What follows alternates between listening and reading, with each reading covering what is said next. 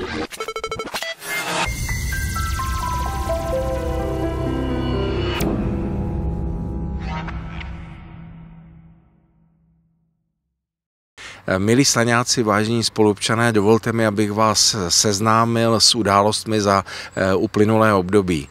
Eh, město Slaný bylo velmi úspěšné v získávání dotací. Jedním z projektů, který z mého pohledu je velmi pěkný a eh, těším se na jeho realizaci, je projekt takzvané Piacety, díky kterému zmodernizujeme, zrekonstruujeme náměstíčko na Dolíkách. My jsme na tento projekt získali dotaci ve výši 4,7 milionů korun a podaří se nám eh, upravit eh, velmi nevzhledný prostor na sídlišti v Dolíkách a uděláme tak eh, poslední krůček v etapách, které jsme na Dolíkách v rámci modernizace celého sídliště udělali.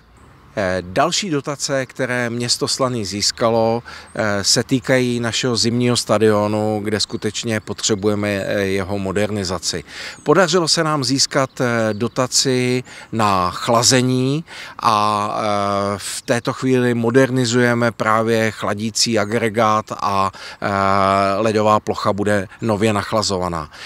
Další dotační titul, který je úplně nejčerstvější, tak je ze středočeského Českého kraje, kde jsme získali dotaci ve výši 400 tisíc a podaří se nám zmodernizovat starou časomíru a budeme na ní moci pouštět i nová videa.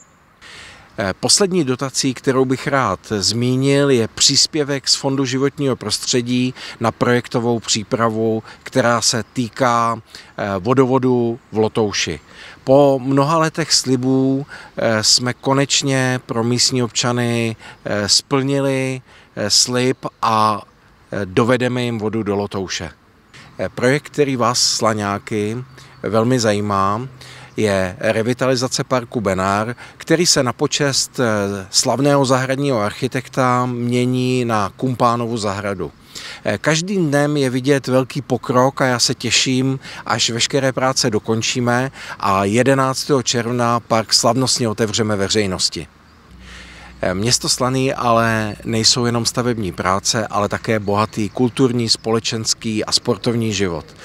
Bylo mi velkou ctí být u slavnostního odhalení pamětní desky na počest eh, pátého eh, výročí od úmrtí dlouholetého úspěšného vedoucího naší slánské hvězdárny, pana Jaroslava Trnky.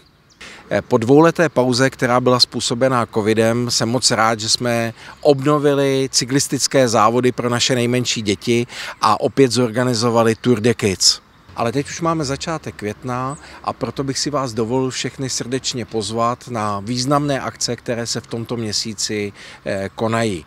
Eh, první z nich je po čtyřleté pauze, která byla způsobena olympijským cyklem eh, Olympiáda dětí a mládeže, kdy budete moci sledovat naše mladé sportovce a samozřejmě i jejich sportovní vzory. A další významnou akcí, která okamžitě potom následuje, tak jsou tradiční husické slavnosti. Proto si vás dovolím všechny srdečně pozvat a prosím sledujte eh, Facebook, Instagram a naše webové stránky, kde se dozvíte aktuální informace. Přeju vám hezký den.